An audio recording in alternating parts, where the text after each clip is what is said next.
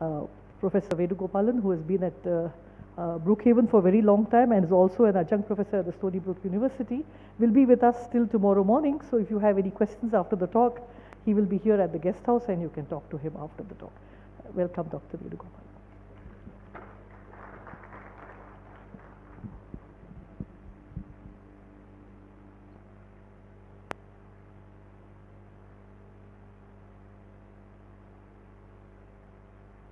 Okay, can you hear me? Yeah. Uh, it's a great pleasure to be here. Um, see some old friends. Um, I should mention that um, I had a very good friend here, um, Professor Rahul Basu, who uh, was a great personal friend of mine, and sadly he passed away some years ago. And uh, this is the first time I'm coming back to IMSC after his passing, so it's it's been a long time, and uh, it's uh, somehow I see his face everywhere. Uh, anyway, it's great that he's been recognized. Uh, but I guess there's a scholarship in his honor um, that's given yearly for the best uh, thesis award in in, uh, in India. So, so I'm I'm really glad that his memory is alive. Uh, anyway, uh, I didn't mean to start on a somber note, but I just wanted to acknowledge his memory. Um, and uh, so what I'm going to talk about is this peculiar sounding title. And for um, some of you, it might ring a bell. And it, it, it comes from a lecture uh, given by Sidney Coleman, who's shown here. So this is Sidney Coleman on the occasion of his receiving the Dirac Medal uh, and here's Abdul Salam, who uh, was the director of ICTP at that time, awarding him this medal, and there's Dirac in the background, uh, so some luminaries there. So anyway, Sidney Coleman is a great uh, lecturer uh, and uh, expert in quantum field theory, and so he had the title of this lecture, which was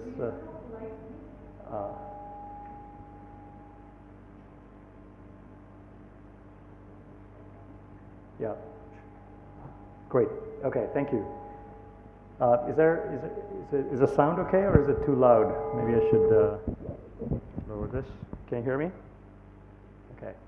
Um, yeah. So um, so Coleman was a great field theory expert, and he had a title of one of his lectures on classical lumps and the quantum descendants, which I liked very much. Uh, I'm going to use it in a somewhat different context from Coleman uh, although there are some deep connections to, to what he was talking about. Um, and, and the question I'm going to uh, ask, and, uh, and I'll only kind of get to it in the middle of my talk, but I'll be kind of building up to it, is can we understand such extreme events that you see uh, at the Large Hadron Collider, which are, these are actually proton-proton collisions. Okay? And they generate, uh, in very rare events, and they generate uh, over 100 particles. Um, and and um, of course, in heavy ion collisions, you generate thousands of particles. Uh, and the question is, can we understand such configurations of matter as being classical uh, objects which then um, which are generated in this high energy scattering and, and, and what, what are the consequences of this? Now, conventional wisdom would say no to such the creation of such classical lumps in such highly quantum processes. Um, and, and I'm going to argue to you that this classical wisdom is, is wrong. And this also has consequences for things like creation of black holes uh, and transplanckian scattering, so primordial black holes that I was just discussing. Um, so here's the outline of my talk, so I'm going to kind of build up to this and uh, if you have any questions, feel free to interrupt me and, and ask me about them. Uh, so I'm first going to talk about quantum chromodynamics, um, and which is an extremely successful theory. It's an almost perfect theory, as I will discuss. Uh, and perhaps the most perfect theory known to, to humankind that we have. Um, and this theory is very rich and has a lot of emergent structure, which is not visible from writing down the equations of motion of the theory. And I'm going to describe some of that, how that comes about. And then I'm going to get to this, uh, the title of my talk, which is uh, how some of this emergent phenomena involves classical lumps, uh, and some of their uh, consequences. Uh, in particular, I'm going to show that such objects have universal features. There are examples in cold atoms and in gravity which are um, universal to this matter. So even though uh, this is specific to QCD, there are aspects of it that are independent of the micro microscopic uh, nature of the interactions, in specifically because these are classical lumps.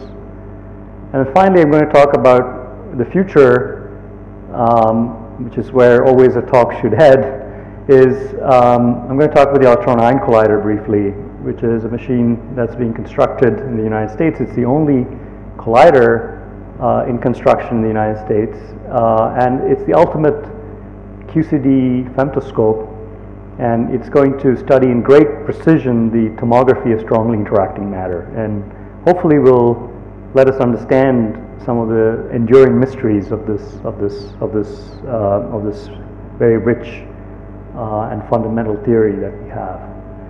Uh, so okay, so what is quantum chromodynamics? So as I mentioned, uh, QCD is a nearly perfect quantum field theory, and it's nearly perfect because it has almost no parameters. The only parameters are the quark masses, which come from the Higgs mechanism. But if you put the quark masses to zero, uh, the theory is perfect in the sense that it's all the phenomena of the theory are emergent phenomena. They come from the structure of the theory, not the uh, parameters that one puts in. And if you think of the history of physics, that's rather unique. We don't have theories like that. We never had theories like that, which are uh, which have no parameters put in. Uh, historically, in physics, you you know write down some sets of equations and you put in parameters and you try to fit data and and sort of tune those parameters appropriately. Uh, here, there's no tuning whatsoever in the in the in the massless limit. Um, and, and so in that sense, it's a nearly perfect theory. Uh, and, and the theory is very rich in symmetries. And we know for a long time that it's symmetries that dictate interactions. So if you write down uh, a Lagrangian for the theory with a kinetic term and then you impose that it satisfies certain symmetries, that generates all the interactions of the theories. Uh, and so it has these, these symmetries here. Uh, and I just enumerate them. So it has a gauge symmetry, which is that of color charge. Um, and the symmetry, so quark and gluon fields are uh, matrices under this color SU3 color group uh, at each point in space-time. So that's why it's a gauge symmetry. And the symmetry is unbroken. Um, so uh, this is an exact symmetry of the theory but it's confined in the sense that you never see quarks and gluons freely in nature. Um, it's not a bug, but a feature of the theory uh, called confinement. Um, and the theory has a global symmetry, and that's so-called chiral handedness symmetry, uh, in the sense that if the theory were massless, the quarks were massless, then left-handed and right-handed quarks would rotate in, independently of each other. They would not talk to each other uh, in the strictly in the massless limit. So it's an exact symmetry in that limit, but it's broken for mass, massive quarks. And the nature of how it's broken spontaneously uh, is explains why we exist. So the reason why we have mass and nucleons and, and pions and other subatomic particles have mass is because of the breaking of this global symmetry in a particular and very, in a very specific manner. Uh, the theory also has uh, conserved charges, baryon number and axial charge, which again, uh, the latter for massless quarks is conserved. Uh, and then it has scale invariance, uh, again for massless quarks and gluon fields. So if you vary the scales of the fields, the theory is invariant and it has the discrete CP and T symmetries, charge parity and time reversal. Now, all of these symmetries, with the exception of the gauge symmetry, as I mentioned, um, are broken symmetries. So they're um, the, the vacuum of the theory does not respect the symmetries of the Lagrangian. and or, by by quantum effects as well. So you can have quantum effects which break the symmetries. And this is the, the pattern of these breaking, as I alluded to, are what give rise to the rich structure of the theory. So all the all the uh, existence of subatomic particles, their masses, their spins, their interactions with each other, uh, are all a consequence of this emergent phenomena, right? So, so most of the visible matter in the universe comes from this pattern. Yeah. Sorry? That, that, well, that, that's right. I mean, that's a good point. Yeah, so uh, theta is very, very small. So there's a, um, as was mentioned, there's, there's an additional possibility that the theory could have a theta term which violates um, CP. And, um, uh, but in practice, the theta term is is found to be very small. Experiments suggest that it's less than one part in 10 to the 10. Um, and, and, uh, but there's a possibility that uh, if it's non-zero, there could be another particle called the axion, which, which uh, is required to, uh, which would explain why this number is not, is so small, that uh, why it's almost a symmetry. Um, and so, so that's, that's of course an important point. Uh, and I'll very briefly mention some aspects related to that. So, so, um, so to summarize, inherent in QCD are the deepest aspects of relativistic quantum field theory. So if you understand QCD, you're very well prepared to understand the standard model and beyond the standard model um, because it has many of the features, non-trivial features of, of, of our constructions of, of theories uh, such as confinement, asymptotic freedom, um, anomalies, spontaneous breaking chiral symmetry, uh, and so on. So um, it's, a, it's, a, it's, a, it's a very valid, uh, it's a very important theory from all of these reasons that we need to understand better. Uh, and I'm going to talk more about that. Um, so um, now, of course, when you write such thing on a page, it, it, um, it hides a long and enduring struggle over many decades, which the theory took to become what it is today. Uh, and so it started out by trying to make sense of the zoo of subatomic particles that were being discovered in the 50s and 60s um, and trying to organize them in some way uh, in the language of symmetries. Uh, and that was, a lot of it was a pioneering work of Gell-Mann um, uh, and also Zweig um, successfully. Um, and where they came up with this idea of the so-called eightfold way that you could um, organize mesons into octets and baryons into decuplets. Um, but this, and so quarks gave a way to kind of organize this, but um, they were they were not really thought of as being necessarily something real, just a mathematical shorthand for organizing the properties of these objects. Um, and there were some issues about how do you relate these to weak currents and so on. So there was a very kind of ugly pupae which then evolved into a caterpillar. Um, and then, you know, it, it, sort of built a chrysalis around it which got sort of harder, uh, which came with further richness that there was a new color charge uh, that was required to explain uh, or this organization in terms of quarks. But even then, people thought of quarks as maybe integer valued objects. They weren't sure they were fractionally charged. Uh, and there was no dynamics and no understanding of confinement. And then finally, prompted by data on deep elastic scattering, uh, it was realized that these objects are actually real um, and uh, just as real as you and I.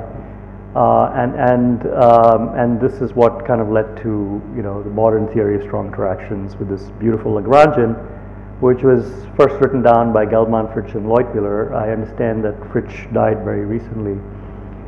Um, and so so this is a kind of lepidop lepidopteral metaphor of how this very ugly pupae kind of evolved into this very beautiful butterfly. Uh, and there was a nice talk by Jeffrey Mandula at the uh, retirement symposium of my colleague uh, Mike Creutz at Brookhaven. Uh, and you can kind of find his slides on the internet and uh, take a look uh, where he elaborates on this.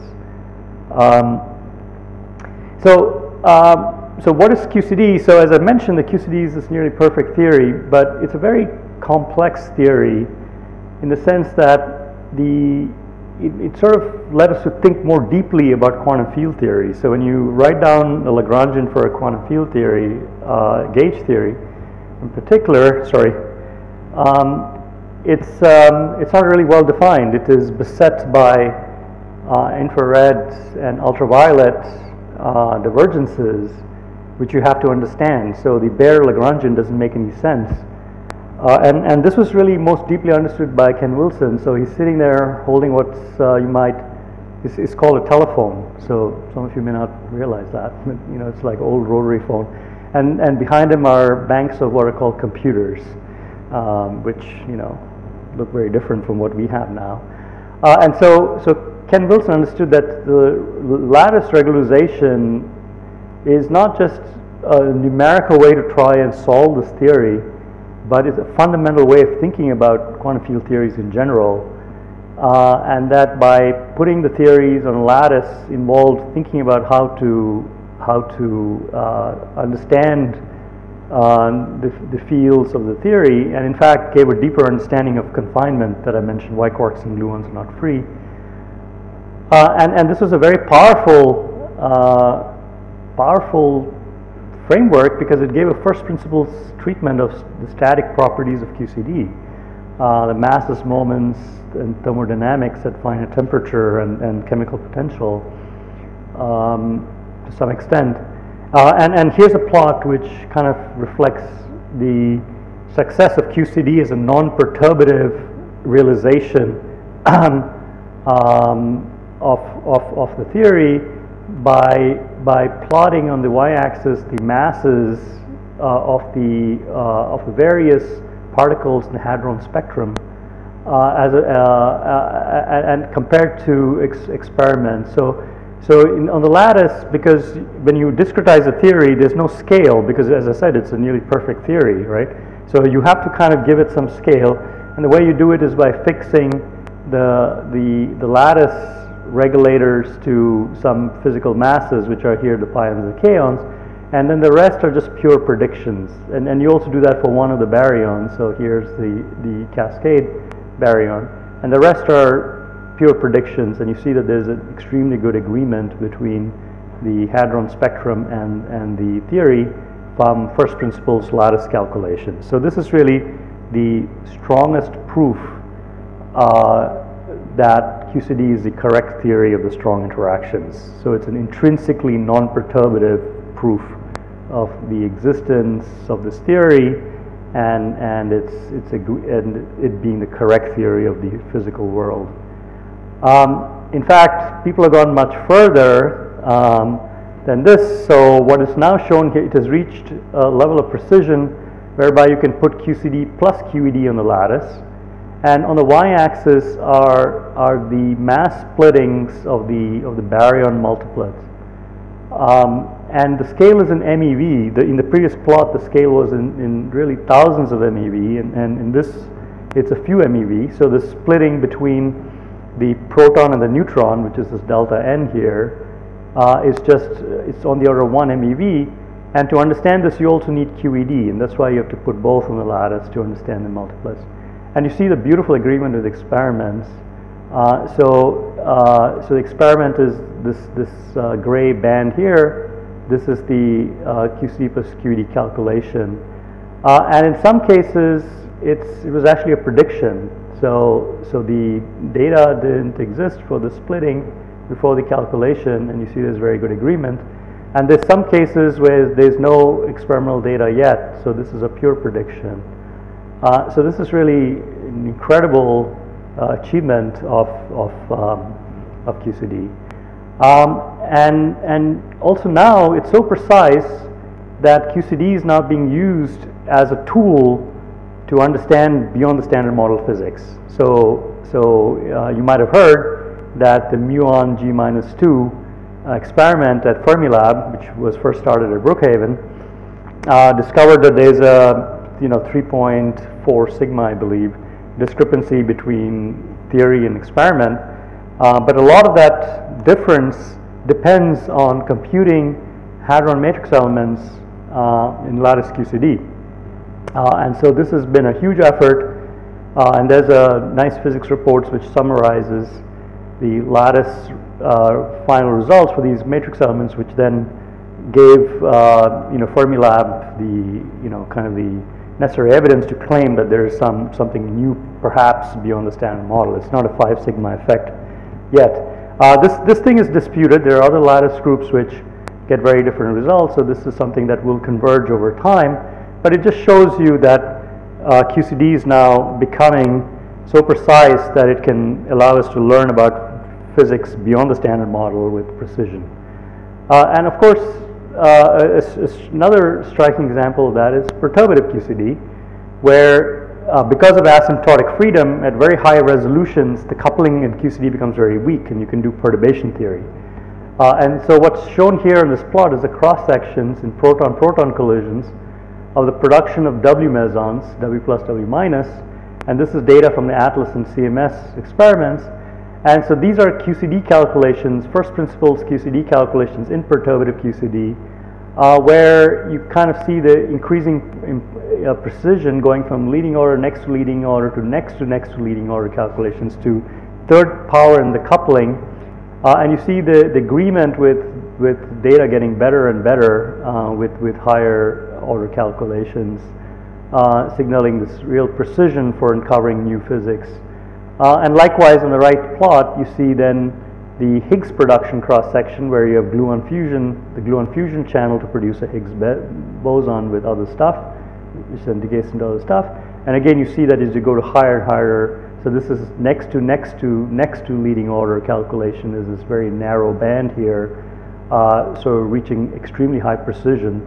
Again, uh, providing us with a way to look for physics beyond the standard model. So a natural question to ask at this stage is that um, in particle physics there's a very strong reductive tendency to try and understand things uh, in terms of the smaller and smaller ingredients going to higher and higher energy scales. Um, and from that perspective, which, which is a very powerful perspective, um, from that perspective, one could argue that the study of interactions strong interactions is a mature subject in the sense we have a theory, which is QCD, that's correct and complete, as both perturbation theory and lattice QCD tell us. Um, and in that sense, it's akin to a lot of other areas of physics, like atomic physics, condensed matter physics, or chemistry, where we understand the fundamentals, um, but these are whole fields in their own right, uh, where the important questions involve emergent phenomena and applications to real world problems. Um, and so the, um, the question is, are we done, right? But if that were the case, then you would empty a lot of physics departments very quickly. Well, some people might like that, but, but the vast majority would have a problem with that. And, and rightly so, because um, a lot of what we think of as physics is emergent physics.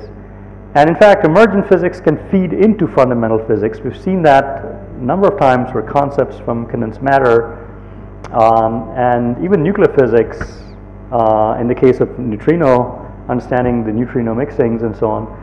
Uh, so you can have physics that's very complex, emergent physics, which can also feed back into thinking about um, more reductive kind of uh, fundamental physics. So in that sense, we are not done. Um, and in fact, that's going to be kind of the thrust of the things that I'm going to be talking about. Now, you can say, well, couldn't you just take your QCD theory and put it on this lattice and, and then compute everything, uh, you know, with that? And it turns out that in actually understanding a lot of physics, the lattice is not very useful yet. Um, because the very same techniques that allow you to compute those beautiful plots that I showed you establishing that QCD is the correct theory, the masses and uh, mass differences of hadrons, um, make it very challenging to understand uh, real-time problems and, and other kinds of uh, dynamical problems where um, uh, the lattice is really challenged very strongly. So the Monte Carlo methods that are used in, in lattice QCD don't work for those problems, and one needs new ideas. Uh, and so if you're a young person and you want to think of a big problem to solve and win a Nobel Prize, uh, that's, that's one, that's a problem to start thinking about is, you know, how do you uh, solve QCD in, in, in, real time or for just dynamical processes. Um, and so let me kind of put that um, problem in a, in a somewhat different light. Uh, so let's look at the following landscape, um, which I've plotted here. And the, and the axes of the landscape are inspired by deeply inelastic scattering, uh, which led to asymptotic freedom, as I mentioned earlier. That is, when you have an electron emit a virtual photon with four momentum q that probes inside the deepest recesses of the proton, what it encounters are these quarks and gluons, these quark and gluon fields. Uh, and so the, in, in deep elastic scattering, the, the variables are the resolution, so q squared is the momentum transfer squared. So as you increase q squared, you're probing smaller and smaller distances inside the proton. Uh, and the other parameter on this axis is x, so this is Bjorken x, uh, which reflects the, the, um, the energy of the interaction as well. So, um, so as you go to higher and higher energies, you're probing configurations inside the proton which have smaller and smaller fractions of the momentum carried by individual quarks and gluons. So you have more and more of these objects which carry smaller and smaller fractions. So as you go to, so think of this x-axis as increasing the energy, and this y-axis is increasing the resolution. So at very high resolutions, this is where QCD uh, really can be thought of as a, almost free theory. So this is asymptotic freedom of quarks and gluons. And, and you can do perturbation theory, as I mentioned earlier. Uh, and so that works very well, and this led to a Nobel Prize to Gross, Wilczek, and Politzer for this discovery. Now, as you go down in resolution, at some point the coupling constant of the theory becomes stronger and stronger, and the physics becomes intrinsically non-perturbative. And that's why it's very important to find a non-perturbative definition of the theory, as the lattice does, and there you see the whole spectrum of hadrons that I showed you uh, from the lattice. And, and this is also where confinement and chiral symmetry breaking really become very important uh, in understanding structure in this landscape, in this, this area of the axis. However, now when you start going out in this direction, uh, when you are still at large q squared, but when you start going to higher energies, you start becoming sensitive to very strongly correlated quark-gluon dynamics. Oops, I should be careful. um, and this is like condensed matter physics. So we are finally, we've understood the theory in, in corners which are crucial, but now we're going to, we're now moving to understand its many body features. And as you know in condensed matter physics, even though QED was a very successful theory, uh, a lot of condensed matter physics developed vastly uh, beyond that, in, by the invention of the renormalization group and so on, and the discovery of superconductors and superfluids and so on. Uh, and similarly, there's no reason to believe that similar rich phenomena cannot exist in QCD as you start probing this vast region here uh, of strongly correlated quark-gluon dynamics. Uh, and, and some of it can be understood in terms of the evolution of these quarks and gluons and their dynamics to different scales. But then, as you go far enough along and at high enough energies, you, you form a state of high density matter, gluonic matter. Um, and this is just by deep elastic scattering experiment. So this is not in introducing finite temperature or, or baryon chemical potential, so you get very dense matter. And then you get this region where, at, at when, where physics is non-perturbative, where for a long time, for 60 years, we have known that certain effective degrees of freedom describe the dynamics very well, but we don't understand why. Okay, so this is the region of total cross sections. So we don't understand how to compute the total cross section in QCD, even though we claim that is the correct theory. So there are many open questions. You know, what is the 3D structure of quark-gluon uh, matter in the proton? Uh, what, what is the nature of the spin uh, of, of, of, of of uh, protons and nuclei.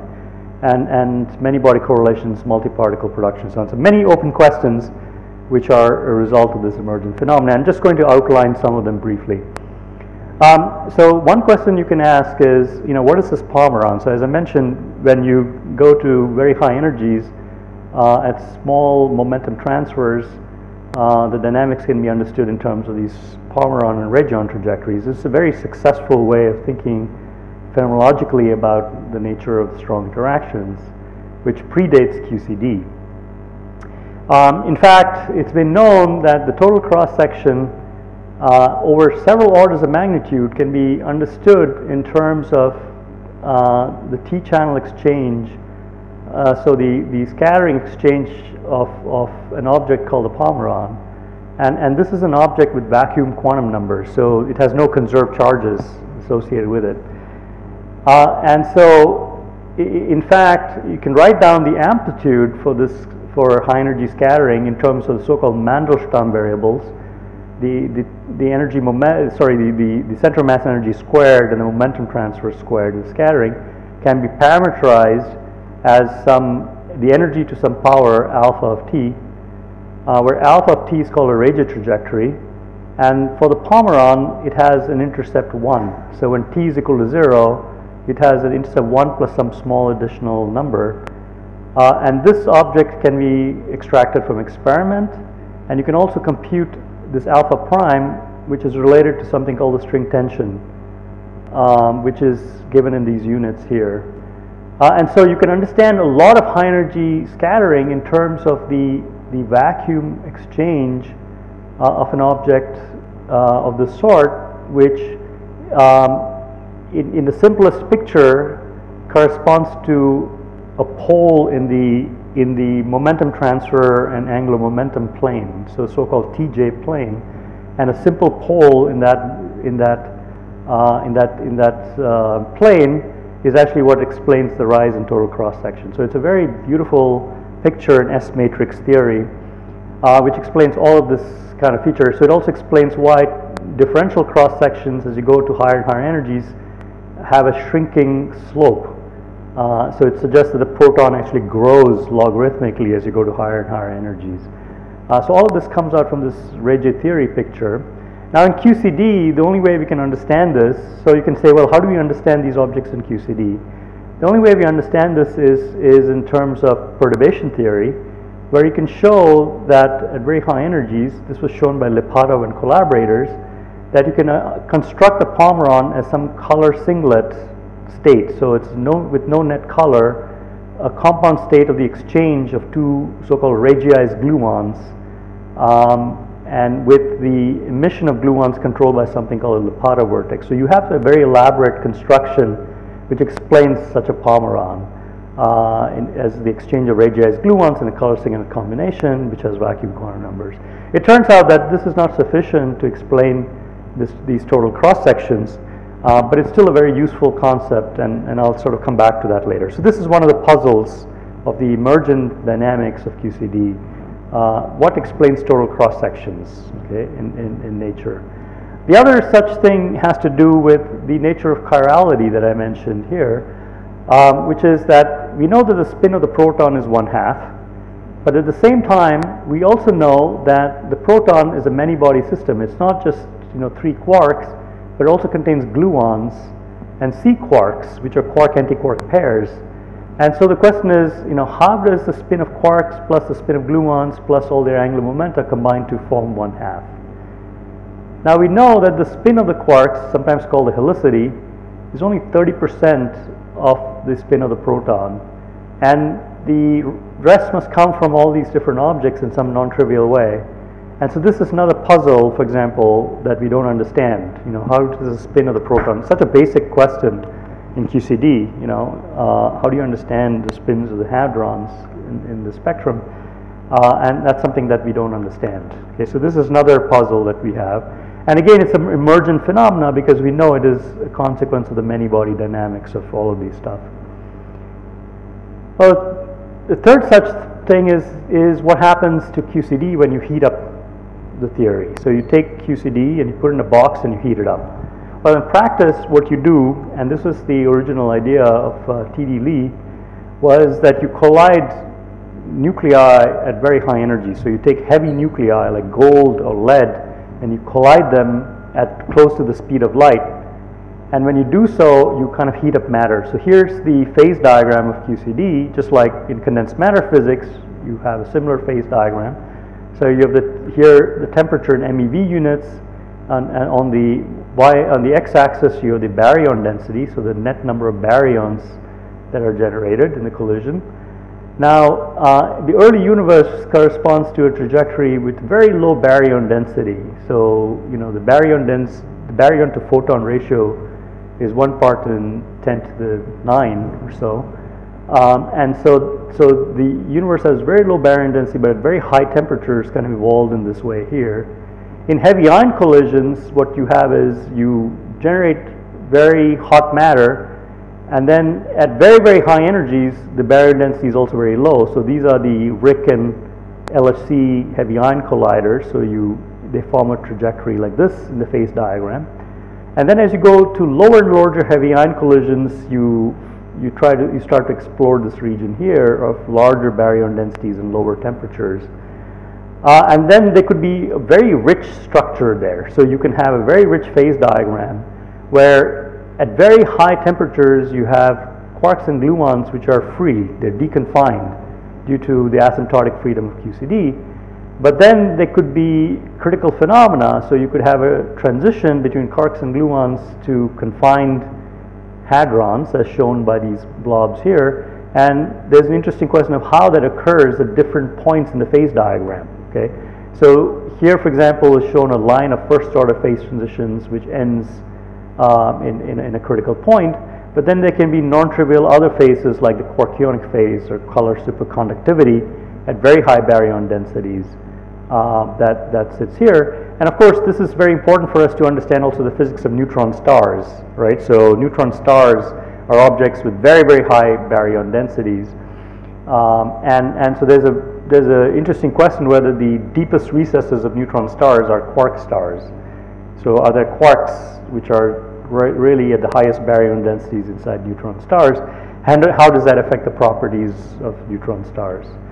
So there's, there's a set of really interesting questions in this regard. Now, one of the great achievements of the lattice, I should mention, is uh, something that Sayantan's also been a part of um, through the, the Hot QCD collaboration, is the determination of the crossover temperature from a hadron gas to a quark gluon plasma. So as you heat up uh, hadrons, so protons and neutrons and other subatomic particles, there is a crossover into a quark gluon plasma, and this is now determined with precision. So this is something that can go into the particle data book as the crossover temperature is 156.5 plus minus 1.5 MeV. So this corresponds to about 2 trillion degrees Kelvin. So this is 100,000 times hotter than the center of the sun. So this is the hottest matter that we create on Earth, uh, and the crossover temperature has been determined from the lattice. And these are temperatures that are measured by the RHIC and LHC heavy ion colliders. The other very interesting um, emergent phenomena in, in, in the strong interactions also comes from these heavy ion experiments is that when you collide two heavy ions, uh, typically the heavy ions are not they're not circular objects or spheres with uniform density. They have very different spatial anisotropies of matter. And so when you collide this, these objects, you, you deposit energy density, which is very anisotropic. And then there's, there's this spatial anisotropy, which is you know, very, very, very, has very large gradients. It very efficiently converts itself to momentum space anisotropy of particles that are produced. And that is seen in the azimuthal distribution. So this is a beautiful plot of the thousand particles emerging from a heavy ion collision at the RHIC collider. So this is from the STAR detector at Brookhaven's relativistic heavy ion collider. And by looking at the azimuthal distribution of all these thousand particles and constructing moments, Fourier moments of these distribution, you can, you can understand that these such spatial anisotropies are very efficiently converted to momentum anisotropies through hydrodynamics. So hydrodynamics provides a very good description of this phenomena of spatial anisotropies. And so there's an outstanding question. So from very violent nuclear collision, right, on, on the order of, you know, two and higher trillion degrees being generated, to suddenly you form this kind of quark-gluon plasma. And this object that you create is nearly perfect in a different sense from the perfect that I used before. It's a nearly perfect fluid in the sense that it has perhaps the lowest viscosity to entropy density ratio of any material that was created on Earth. Um, and, and which means that the resistance of this object to any kind of a stress is, is the lowest perhaps in nature. So how does this very violent state go through some kind of highly non-equilibrium process and form a thermal state? So what is a thermalization process? This is another very interesting emergent phenomena that we don't understand. So, so I'm going to argue to you that a lot of these, some of these things at least, can be understood in terms of the formation of classical lumps in high energy QCD. And that starts from the recognition that the proton is a complex many body system. So when you, when you do deep elastic scattering experiments at very high momentum resolutions and energies, you find that the, the, the proton is this very complex object. And here's a plot of the parton distributions inside the proton as a function of the momentum fraction carried by a parton. And you see that as you go to higher and higher energies where partons carry smaller and smaller momentum fractions, the proton is completely dominated by gluons. This is a log plot so you see that gluons are, are a factor of, I don't know, on the order of a thousand or so here at a given x larger than that of valence quarks uh, at sufficiently small x. And they start to dominate already at x fractions of, of, of 0.1. So this is one lesson you can take away from this talk is that the, the proton is really dominated by gluons and sea quarks at very high energies. How do we understand this in QCD? So imagine that you're looking at a proton at rest, okay? So it's at low energies. And it has these valence quarks. So these carry the quantum numbers of the proton. So these are the two up quarks and down quark. So they are the conserved charges, right? They carry baryon number and electric charge. But, and think of them as being dressed by quantum fluctuations. Okay, so these are dressed by quantum fluctuations. Now if you boost the proton to very high energies, what happens is that these quantum fluctuations start to live longer and longer. Um, and so there's many, many more of these quantum fluctuations. And so the process is Markovian, uh, just like COVID. And so as we know with COVID, things can happen very quickly. So, so at a, any given scale, in, in with, so if you have a configuration with certain momentum fraction, uh, there's, an, there's a, the, the, the, the next step in, in, as you boost the proton with increasing energy, the, the, the change in the number is proportional to the number, so it's an exponential growth. It's a Markovian process. But it's a Markovian process in the log of this x, of the x fraction, so it's called the rapidity. Uh, so the exponential of a log is a power law, and so what you find is that you get power law growth in the number of partons with smaller and smaller fractions of, of the of the momentum of the proton. So one way to think about it is that the proton can fluctuate on very short time scales into configuration carrying a large number of gluons and sea quarks. And if you're at sufficiently high energies, a probe can see those short-lived configurations. And those are the dominant configurations that you see. So then the question is, okay, what happens? How do we un understand uh, this very rapid growth? In, and so does it temper off at some point, right? Do you reach herd immunity? Uh, and so this is a kind of picture of a, of a proton and, and which is growing, you know, with the popcorn kernels are just sort of blowing up. And the question is, does it blow the lid of the proton? How does it maintain its stability as you go to higher and higher energies?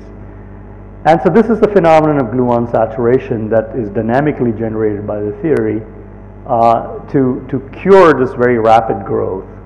So one way to think about this is that imagine you are at some resolution scale where the proton is made up of quarks and gluons. So these are the partons.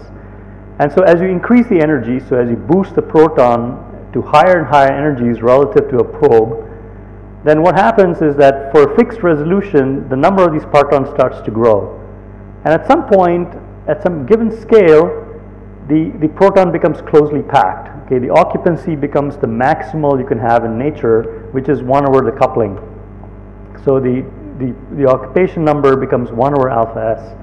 And that can occur for no matter any given resolution that you have, there's always a boost or an x value for which the proton becomes closely packed.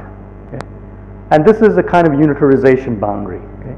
And there's a scale which characterizes this close packing, and that's sometimes called the saturation scale. That's a q squared for which at a given x you have close packing. So what happens is the color charge inside the proton as seen by a probe is completely screened. So if you have, say, a virtual photon which splits into a pair of quarks, quark and antiquark, with some size much smaller than the size of the proton, at sufficiently high boosts relative to this quark-antiquark pair, the proton, the, this, this, the color charge that this object is seeing goes to zero, okay? And this object interacts just like a proton would. So no matter how small this quark-antiquark pair, if the proton is being boosted relative to it at very high energies, it's going to interact with the same strength as a much larger proton would. would. So this, this is called uh, gluon saturation, and it's a many-body effect in QCD. It, it's just like condensed matter physics. There's screening and recombination effects going on. Uh, and this, this object forms a kind of classical lump, and the reason it forms a classical lump is that the occupancy is 1 over alpha s. And, and not only that, right, not only does it form a classical lump, as I mentioned, it unitarizes the cross-section. So the, the S matrix for the cross-section goes very rapidly to zero. Okay, so it's, it sees a completely opaque disk with which no matter how small the quark-antiquark pair is, it, it interacts with unit strength. Now, this scale, the saturation scale, is precocious in nuclei relative to protons because there's a very large coherence length in the nucleus where the, the, the quark-antiquark pair can interact coherently with many, many color charges. And so if you had an, another scale here with nuclear size, you'll see that the saturation, the close packing scale is much bigger for a nucleus than the proton. Okay. So here's another way of thinking about it. So if you think about a 2 to n process in QCD, where you're producing a large number of soft particles, and you try to estimate what is the probability for producing these n particles, so there, there, there would be a factor from the coupling, which is alpha to the n, so because you're producing n particles. Then there is a combinatorial n factorial for the many different ways in which you can, you can produce these particles. And then in principle, there's an entropy factor, which is e to the s. So it's the degeneracy of the number of microstates that you have in the theory. Now, if n is equal to 1 over alpha s, right, if the number of particles are very closely packed, you produce a large number, then you see that this alpha to the n can, if I substitute and use Stirling's formula, right, which is n factorial is n to the n times e to the minus n, and you plug in this 1 over alpha, you see that these factors all cancel. Um, these factors get canceled except you have this e to the minus 1 over alpha. Okay, so when alpha is very small, you think that the formation of such a classical lump is exponentially suppressed by e to the minus n. However, and this is a conventional wisdom that people often have in thinking about such scattering, however, this entropy factor can be very large. And if this entropy factor is on the order of itself of order 1 over alpha, you see that the probability becomes of order 1. Okay? So for states with very high entropy, right, when the number of degenerate microstates is very large, right, that you can count, nearly degenerate microstates is very large, then you see that you get a probability of order 1. And the way you can understand this was actually taught to us by Coleman.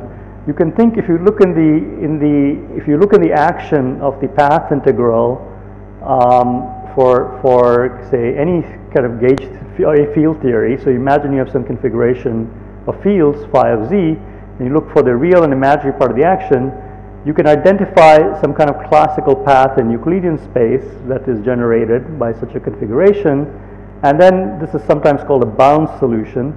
And this object can then decay in real time producing lots of particles. Okay? Uh, and, and, some of the origins of this goes back to work in condensed matter physics by Jim Langer. Uh, but, but this is something Coleman described in, in the language of, of uh, quantum field theory. So, so it may be that such multi-particle production where you produce lots of soft particles may really be the formation of a classical lump which then decays. And we can understand this in some kind of an effective field theory that's called the color glass condensate. That's something I've worked on. Where the way to think about the problem is imagine now you have some dipole, some small object probing inside the hadron, and it's looking at these many uh, gluon configurations. So if the dipole is at rest and it's moving, and, and you're looking in a frame where the hadron is moving very fast, then the objects, the valence quarks in the hadron are moving close to the light cone. So they're moving close to their light cone. And since they're moving close to the light cone, you can think of them as very heavy particles. The, the, the closer a particle is moving to the speed of light, it's very hard to deflect its trajectory. It's almost, you can think of it like a static object in the light cone. And so essentially you have a separation of heavy degrees of freedom corresponding to particles moving close to the light cone. So these are the large x degrees of freedom, uh, large momentum fractions. And then the small x degrees of freedom, which are, which are, are much more dynamical, are, are these are the small x gluons of QCD. So these are the wee partons, and they're the objects that then scatter at high energies of this probe, which is this quark-antiquark pair, which is emitted by a virtual photon.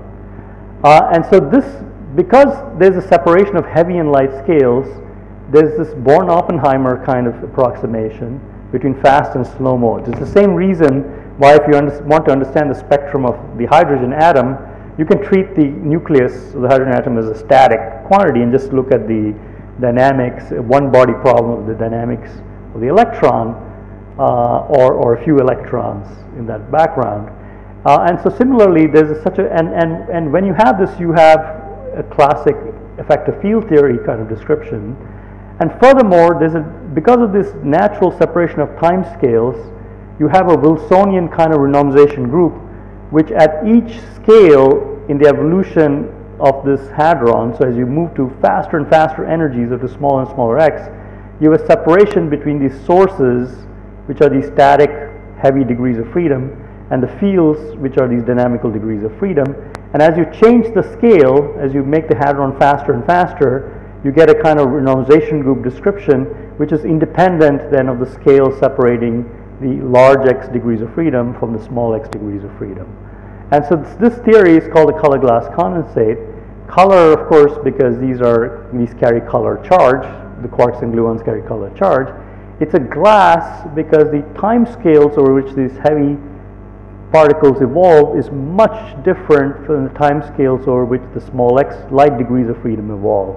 So on the time scales of these light degrees of freedom, this is essentially a static distribution, which is a random distribution uh, for different configurations of the collision. So that's a stochastic process, and that's where the glass comes from. And it's a condensate because for each configuration of this of this of the large x degrees of freedom, the object that's scattering really sees a condensate. It sees a highly occupied state with a non-trivial expectation value of color fields, and that's a condensate. And so this is this matter that that uh, that is created in very high energies uh, and it has some very rich properties. Uh, so in fact, you can understand this object uh, in terms of the correlator of so-called light-like Wilson lines, which describe this dynamics. And so you see that you initially at the lower energies, which is corresponding to very low values of this rapidity, you have big lumps of these classical charges that I was mentioning. And then as you go to higher and higher energies, they form smaller and smaller lumps, which are more and more energetic uh, and these are very localized inside the proton. Uh, and it's these objects that actually um, participate in high energy scattering. Uh, and in fact, this is not just a cartoon, this is coming from a simulation of the actual dynamics that's solved in this effective field theory, where for any operator, which may be some correlator of Wilson lines or other such non-trivial operators, you can write the dynamics in, in a Fokker-Planck kind of equation, so this looks like a Fokker-Planck equation where the boost, the rapidity, is like a time, and then the change of the degrees of freedom with the color charge is like, is like that of a diffusion equation with a diffusion coefficient given here. And, and essentially, because it's a Fokker-Planck equation, you can understand the dynamics of these very soft wee partons uh, as, as a kind of Langevin kind of diffusion in the space of these colored charges. Okay? And that describes this very rich many-body physics of these multi-Pomeron type interactions that you have in QCD. Okay? Uh, and that goes well beyond this original BFKL Pomeron construction that I mentioned earlier, which is a compound color singlet state of gluons. And, and this is a very successful framework now. We, have, we can do things now at, at next to leading order uh, accuracy uh, and describe data both from deep elastic scattering. So this is deep elastic scattering structure functions as a function of q squared uh, for different values of this of, of Bjorken x. Uh, so this is described very well, and the same parameters also describe the uh, single inclusive particle production at the LHC to high orders. Uh, and you see that as you change the boosts, which is the rapidity for different PT windows, uh, you find very good agreement with data. Okay? Uh, and this is something that we will be testing at the electron ion collider with high precision for a number of final states. So for example, here are jets that are formed along with photons, and you can calculate such things and compare such classical lump predictions with, with actual data. So where it's actually very powerful is in the description of heavy ion collision. So if you think about the collision of two nuclei from first principles, it's an almost impossible problem. You have all these nucleons and all these color charges. How do you describe that from first principles in QCD and get some predictive power? However, if the theory becomes classical at very high energies, then what you have is that the collision of these objects is a collision of these two color glass condensates, which are shock waves. These are gluon shock waves which you can treat classically and, and semi-classically. And this is something that has been done over the last 20 years or so, and an extremely rich picture emerges of how these gluons collide and form non-equilibrium matter, and they go through uh, you know, phenomena like weak, weak wave turbulence where the system flows to non-thermal attractors and eventually equilibrates. Uh, and this kind of, and then there are things like hydrodynamic attractors and so on. So if you're interested, I have a reviews of modern physics that discusses this in detail. Let me just very briefly tell you though that this is very analogous to what happens in the Big Bang. Okay? So in the Big Bang, you have some classical lump, which is an inflaton field, and that, that inflaton field decays, and eventually it goes through a series of phase transitions, including the quark-gluon phase transition. Uh, and then eventually, so there's a decoupling of matter and radiation about 3,000 year, 300,000 years after the Big Bang. Uh, and then, of course, you know, we're sitting here, um, you know, 13.7 billion years away. And similarly, there's a little bang in heavy ion collision where you have these classical fields, just like the inflaton, uh, form some non-equilibrium matter called the glasma. And then this kind of evolves to form a quark-gluon plasma in a very non-trivial way. Uh, and this analogy is not very is, is not just fanciful, there's a really one-to-one correspondence between different aspects of the evolution of these two systems, which is very analogous in, and helps you understand thermalization the two systems. Uh, in fact, there are these classical fields, they interact with quantum fluctuations. You have explosive amplification of low momentum fluctuations, which actually thermalizes the system and eventually creates objects which are which are actual you know particle-like degrees of freedom with with, with large occupation numbers. Uh, and this is something that we actually see in numerical simulations. So we can actually collide these shock waves together. And initially you have these very highly occupied fields which then in interact with quantum fluctuations which create instabilities like plasma instabilities. So on the on this axis is shown the the uh, longitudinal momentum on this axis is the transverse momentum.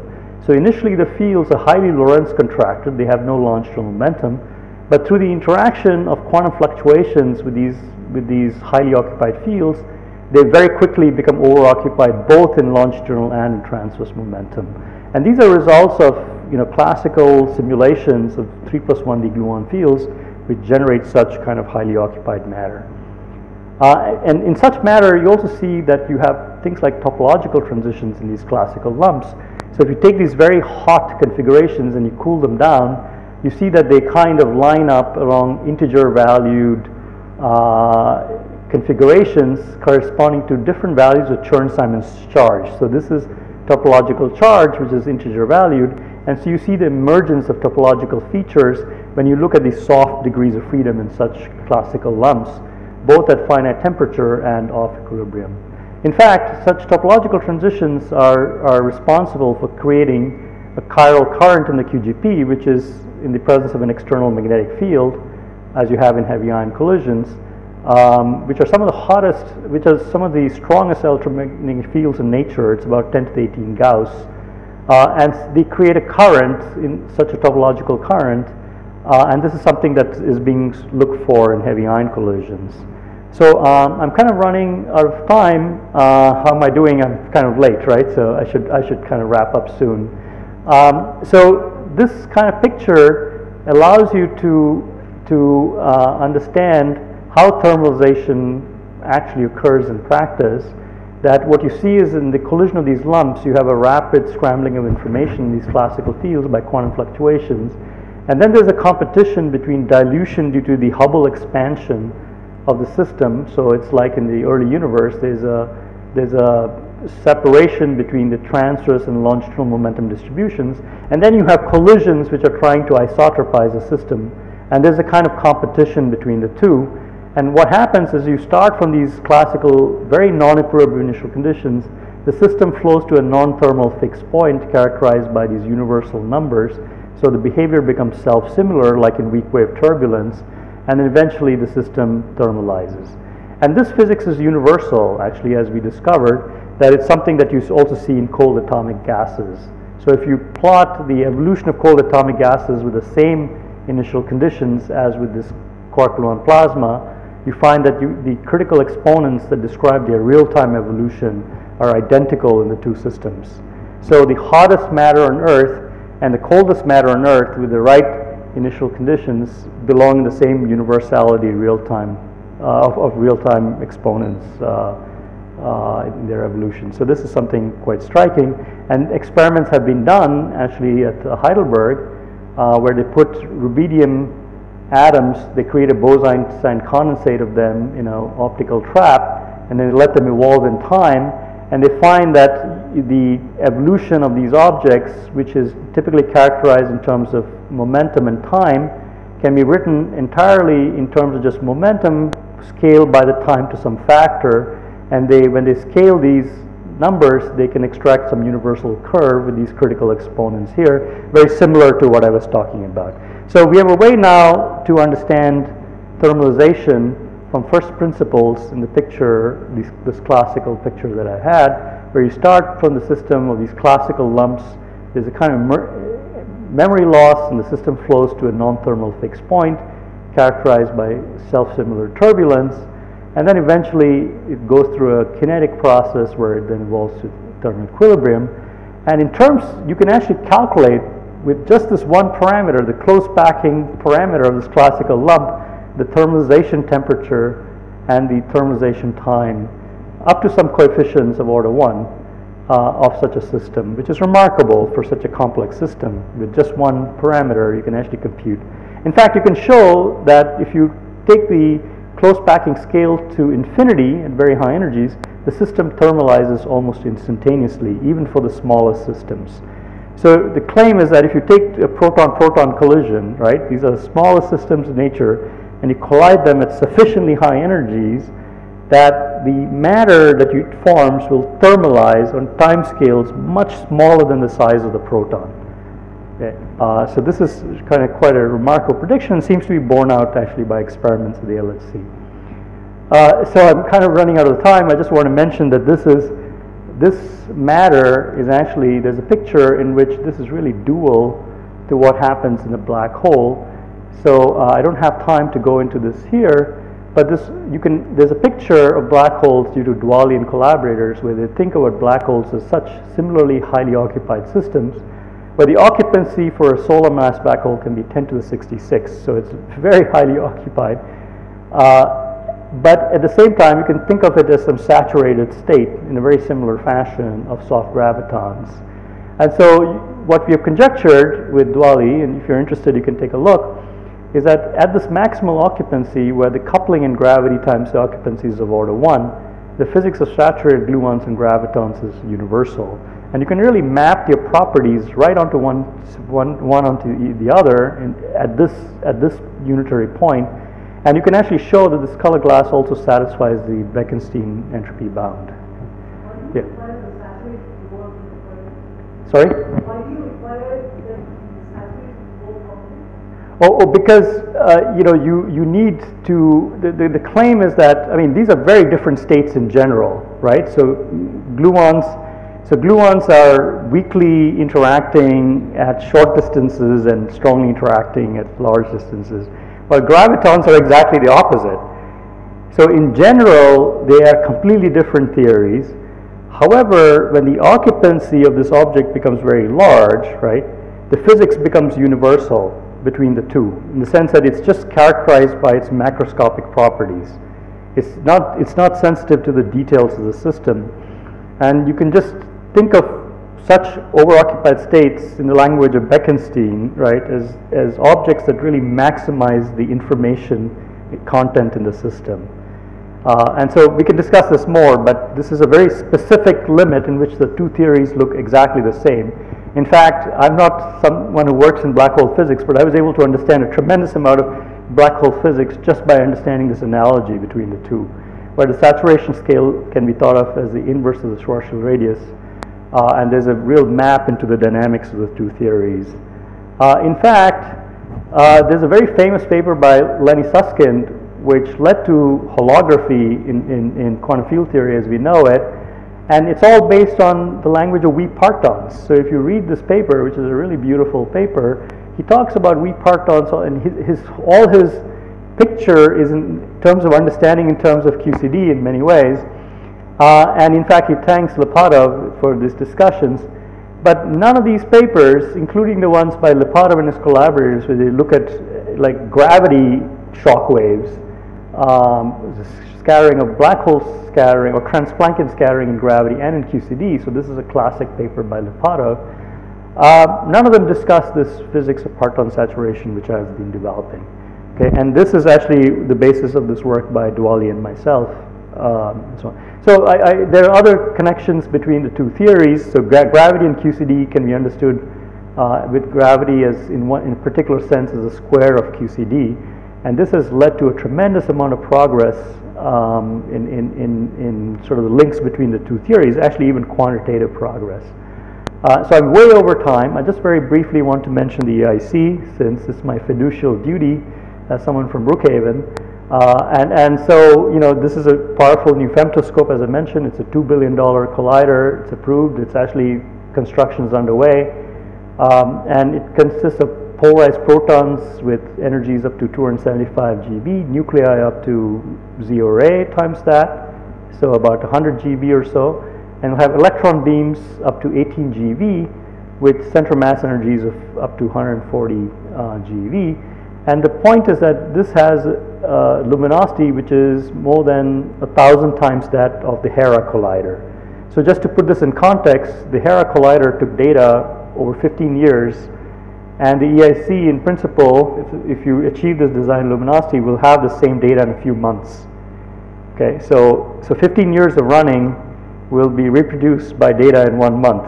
Okay, and so this allows you to ask a lot of differential questions in QCD. So for example, you could ask, you know, if you have some parton sitting here in some spatial distribution of partons, you know, and, and it's a polarized proton, you know, what is the distribution of up and down quarks, for example, in momentum space or in, or in, so, or in coordinate space. So you can ask very differential questions about the spatial tomography and momentum tomography of partons that you could never do before. And this will hopefully give us fundamental insight from experiments into the nature of confinement and chiral symmetry breaking.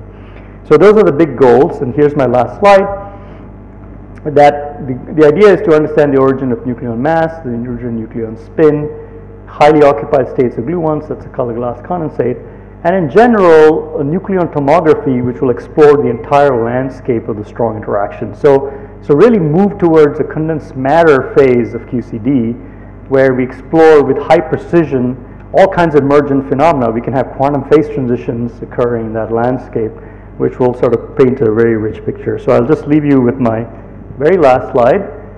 So I've outlined the rich physics emerging from metastable lumpy configurations. And it has, as I mentioned, very rich uh, interdisciplinary analogies and concrete connections. Uh, and hopefully these may provide fresh insight and methods to confront the enduring mysteries of QCD. Uh, and of course, experiment is always what is motivating us, and that's something that will exist for several decades from now. So thank you very much, and I apologize for going over time quite, quite a bit.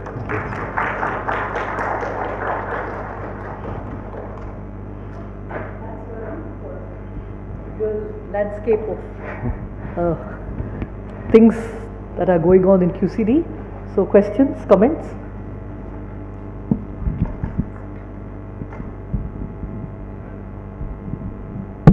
Hi, uh, maybe a naive question, but so we have a, from the black hole literature, we have a bound on how fast a system can thermalize, like the scrambling time in some sense. So you made one claim that at some point, like uh, the thermalization is almost instantaneous. So isn't it violating that bound? Like no, it's a, it's actually it's uh, when I say instantaneous, I mean parametrically in the sense that uh, it's actually very it's uh, the the um, the thermalization time, for example, in black hole stuff is one with the temperature of the black hole right. times say up to logs. Yes. Uh, and what we get is something which is one over QS times logs. Ah, so okay. it's exactly the same thing. The mechanism is different. In the case of black holes, it's Lyapunov behavior, Correct. it's parametric resonance. Here it's Weibel instabilities. But the details are very different of how the states are reached, right? But it's as efficient a scrambler. Mhm. Uh, well, up to logs. It's one log weaker scrambler than, than that in black holes. But it's a very efficient scrambler. So that's why thermalization is very fast. So it's a Yeah, better, yeah, like it's yeah. a more improved bound compared to what we have from the on the black holes, is it? It, it's, it's a weaker bound because it has an additional log. Ah, I see. But, okay. but in terms of powers, it's the same. okay. So, so if you take, so if you take the black hole temperature to be larger and larger, right, then, you know, you will find that, you know, it will thermalize more and more rapidly.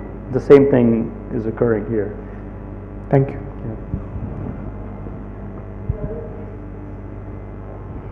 Uh, we actually discussed this in the paper with Dvali, so you can take a look also. Uh, a, a small comment. Yeah. See, at very high energies, the par- all particles behave like massless particles because E square is equal to P square. That's whatever mass is irrelevant. So, in principle, that they, they all behave like massless particles. It has only transverse degrees of freedom. Now, when it is small, corrected by a small amount, when it is not that high energy, they seem to acquire small mass, which is providing you the longitudinal component of the degrees of freedom. So, at high energy, extremely high energies, but not so high energies, there are these longitudinal modes which come up. And if you can directly talk about those modes, uh, living probably as hologram, etc., you can describe the system uh, in the dual picture that seems to be happening in all these things. Uh, would you like to make any remark on this kind of observation? So, so, so when you say mass, I mean, what is, I mean, you, you don't want to violate gauge invariance, right? Mhm. So, so, so the problem with, you know, things acquiring mass in gauge theories is, you know, the original question why Yang and Mills had a lot of problem uh, with their theory because it predicted massless gluons, right? Mhm. And then, you know, where, where do the masses come from? So, so in gauge theories, how things acquire mass is, is, is very problematic in, in, in kind of understanding this. So what we are, the, the picture that we have is, is really that of strong fields, uh, which, which are, uh, all you need is classicalization and unitarization. Mm-hmm. These are the only ingredients that are necessary to create a 2D picture mm-hmm. of the dynamics. Mm-hmm. And so to generate this area law. So essentially the picture is that you get an area law which is characterized by some scale. And you can think of that as a kind of goldstone scale. So in that sense, if you think about this in terms of goldstone degrees of freedom, Yes. Then the goldstones can be understood as objects that then acquire some mass. So they have some kind of a screening mass Uh, and then you can think of those objects as decaying on some characteristic time scale, and then eventually what you observe are the massless. So on some time scales, you can think about these things as, uh, as massive objects which are nearly degenerate objects which have some entropy. Uh, but in the language of Goldstone, degrees of freedom. Uh, so you can think about a mechanism whereby just like goldstones acquire mass, these objects acquire mass, but only for some time scale. Now, in the case of black holes, that time scale is longer than the lifetime of the universe. So from any practical point of view, these non-equilibrium degrees of freedom look like they're equilibrium degrees of freedom, they're vacuum degrees of freedom. Because the lifetime of a black hole is its occupancy times 3 halves. That's the Page law. And so 10 to the 66 times 3 halves is, is much longer than the lifetime of our universe. So, so the Goldstone picture for black holes is actually pretty robust. Uh, so maybe there's a way to think about it along those lines, if that's what you have in mind. Yeah, but a minor comment is uh, the relation between gauge invariance and mass is slightly tricky because we have spontaneous symmetric breakdown where the theory is actually gauge invariant, but mass is also there uh, in a different phase. And that's fairly obvious in U1 kind of abelian theory where you can generate it by some kind of Stuckelberg field, the phase of the Higgs particle, etc. So in principle, we have to have a better understanding of the phase transitions which are taking place through uh, uh, um, a large number of particles together in a conduct, like condensed matter system, like condensates and Bose-Einstein condensates, So, so, etc. so very good, because in fact, this, this, this, you remember I mentioned this Born-Oppenheimer separation, uh, where I have these very highly occupied static degrees of freedom. These are Stuckelberg fields, actually.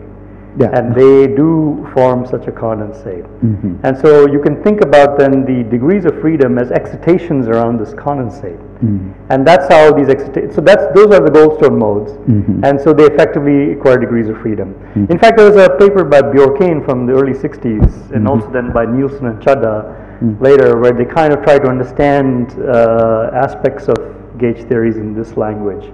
But they weren't really thinking in terms of high occupancy. What we're saying is that at high energies, there's a natural mechanism of high occupancy, where the Stuckelberg mechanism is just natural. Okay. It's- Uh, it's- there's, yeah. in one of your Yeah, slides, you yeah. mentioned about superfluid bosons. Yes, mention. yes. Do you mean uh, Bose-Einstein condensate boson, Bose condensate or superfluid? So, so, so um, th- this was in the context of cold atoms, I think. Mm. Yeah. So, so, so the if you look at a scalar theory, then these are really superfluids. Mm-hmm. So they obey the Gross-Pitaevskii equation, for example, mm-hmm. and uh, you know, so they have some order parameter with a phase. They, mm-hmm. they obey the equations of superfluid hydrodynamics. Yeah. Yeah, but you have to make distinction between Bose-Einstein condensate and superfluid in some sense, right? Well, I mean, why? I mean, Well, it, it, this, it, If you ask condensed matter physics, Yeah. people they will say they are different. that's not Because the so- spec, the energy momentum dispersion relation, one of them will have uh, linear and another will be quadratic. Ah, very, very good. So, so, so the, so the um, extremely good point, which is the picture that I have in mind is a relativistic scalar field theory. And so in the far infrared, this is like a non-relativistic superfluid. Mm-hmm. However, it really depends on the inertial domain of momentum of interest. Mm-hmm. That is, if you look at the full spectrum, there is also then the relativistic regime that emerges. Mm-hmm. And in fact, you can simulate such things now in great detail and really understand the turbulent spectrum of this, these theories. And there's Kolmogorov, there's a Kolmogorov scaling, there is inverse cascades, and then for, for- so there's a whole non-equilibrium generalization of these concepts where these distinctions are not so clear anymore. So in other words, there will be superfluid like inertial regimes, and then there'll be Bose-Einstein condensate kind of inertial regimes. Uh, really, but the general concept is that of turbulent dynamics. So you'll have things like vortices form. If you look at 2 plus 1d, say, then you'll see vortices form, and you'll see the vortices merge uh, through some kind of annealing process or you know coarsening process, which has characteristic time scales, uh, and then these then form over time a superfluid. So, so there's there's very non-trivial dynamics that's go- going on. Interesting. Yeah. So it's, it's quantum turbulence and. So, uh, when you yeah, talk about the universal features for thermalization Right. in gauge theories and scalar fields, so in scalar fields, of course, as you're mentioning, there can be condensates. In gauge theories, are there the condensates form or it proceeds by a different mechanism? So, so, so it's a- the, so that, that's a good question in the sense that we don't know for sure. Um, because we don't have a clean order parameter in, in which to really uh, analyze this uh, in, in, in, sort of a clean way. Um, there, there's actually hints from numerical lattice simulations, but these are of classical lattice gauge theories. That you see that the in the far infrared you see uh, condensate-like phenomena, but you know there's no actual robust order parameter as like in the in the scalar theory. So you don't know if what you're seeing is uh, is, is something that is. I mean, because what you do is you're you you kind of when you look at say momentum spectra, right? You fix a gauge and then you look to see whether you're you're flowing to the IR. But this isn't a gauge fixed description. So it's not obvious that there's a gauge independent way to ascertain uh, such such a phenomenon. Uh, but but what I'm what I'm talking about is that there's a like I was mentioning in my previous comments that there's different regions of inertial initial regions of momenta as in the context of turbulence, and the mapping that I was talking between QCD and uh, you know ultra cold atoms uh, is is in a different region of inertial momenta than of the far infrared. And it's in that region that you see this universal behavior between the two. In the far infrared, we don't know if it's the same universality class. So the same universality class corresponds to a particular re- inertial region of momenta that, that is more robust, hopefully. And for gravity, Yeah, the uh, correspondence is more in the far infrared. The, the, the correspondence is, is in neither because, as, as I mentioned, in gravity, gravity becomes strongly interacting as you go to the UV. But this formation of a black hole occurs before you reach the, the, the Planck scale. And so it's, it's an intermediate scale where you see this emergent phenomena, which is the formation of a horizon. Uh, and the same thing is true in QCD. The classical lumps form before you reach the IR. So the color screening occurs on a, on a sort of a smaller distance scale in QCD than it does at the confinement scale. And so this is a, a kind of remarkable thing that in the sense that it's in both theories is a regime, regime where you can actually m- perform computations. Because in gravity, then otherwise you would be in the quantum gravity regime and you couldn't really calculate. While in QCD, you'll be in the confining regime and you couldn't calculate. But if this picture is correct, then there's universal behavior in regimes where you can calculate and compare universal properties. Thanks. To- yeah. I don't see any more hands raised, so let's thank uh, Professor Venugopal again for an excellent talk. I'd like to thank also the people who asked questions. I think it really added to the content. So thank Yeah, you very thank- much. Thank you very much.